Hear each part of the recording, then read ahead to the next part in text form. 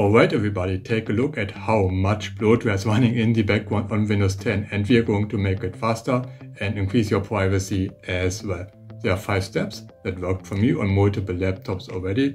They are now starting faster, they feel more responsive and they have more battery life. So take a look and follow along and enjoy the video.